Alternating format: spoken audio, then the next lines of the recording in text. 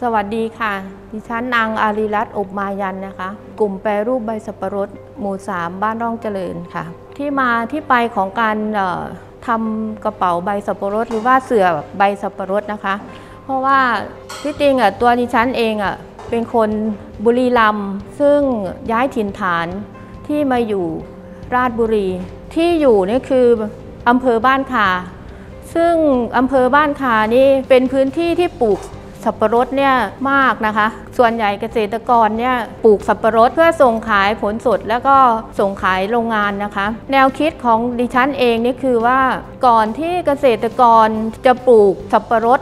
ในครั้งต่อไปนะคะ จะต้องมีการ ผาใบสับปะรดหรือว่าที่จะปลูกในครั้งใหม่นะคะจะต้องไถหรือว่าปั่นปั่นใบสับปะรดเนี่ยค่ะทิ้ง โดยที่เรามองเห็นว่าใบสับปะรดตรงนั้นอะน่าจะทำมูลค่าเพิ่มให้กับชุมชนได้นะคะ ดิฉันก็มีแนวคิดว่าเราไม่เผาแต่เรามาทำเป็นกระเป๋าสู่งานแฟชั่น เพื่อที่จะมีรายได้ให้กับชุมชนนะคะะเราหยิบยกอัตลักษณ์ของอำเภอบ้านคานะคะ ก็ได้เกินนำอยู่แล้วว่าเป็น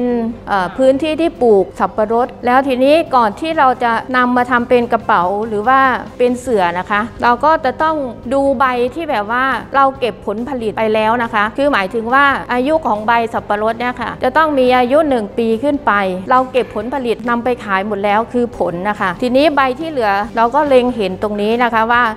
เราจะต้องทำให้มาเป็นมูลค่าเพิ่มในชุมชนของเราให้ได้ ขั้นตอนในการผลิตนะคะ เราไปเก็บใบสับปะรดเนี่ยค่ะมามาทำการกรีดนะคะ กรีดให้เป็นเส้นก่อน แล้วทีนี้พอ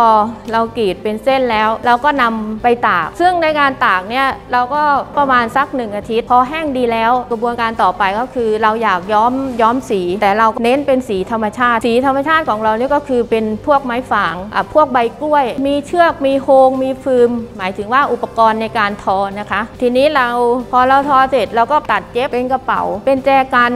ซึ่งในกลุ่มนะคะ เล็งเห็นว่าเกษตรกรที่แบบว่าหลังจากไม่มีงานตรงนั้น เราก็รับซื้อในชุมชนใบสดเนี่ยรับซื้อเป็นกิโลละ 2 บาทเอ่อเล็งเห็นว่าเราน่าจะในกลุ่มของเราอะน่าจะเพิ่มเสริมรายได้ในชุมชน เป็นที่ยั่งยืนของชุมชนต่อไป การทอเสือจากใบสับปะรดนี่นะคะ ก็อยากให้เชิญชวนทุกท่านที่แบบว่าสนใจ ตัวดิฉันเองก็ไปเป็นวิทยากรในการอสอนให้กับชุมชน ทีนี้ก็อยากให้คนที่สนใจมาทำการทอเสือจากใบสับปะรดสามารถทำได้ด้วยตนเอง หรือว่าสอบถามรายละเอียดที่ดิฉันมาได้เลยนะคะเอ่อ061-462-6925 ค่ะ ก็อยากเชิญชวนให้ผู้สนใจ มาเรียนรู้หรือว่าอสอบถามรายละเอียดกับตัวดิฉันเองได้เลยนะคะเอ่อในวันนี้ดิฉันก็ขอขอบคุณสำนักงานจัดหางานจังหวัดราชบุรีนะคะ ที่ให้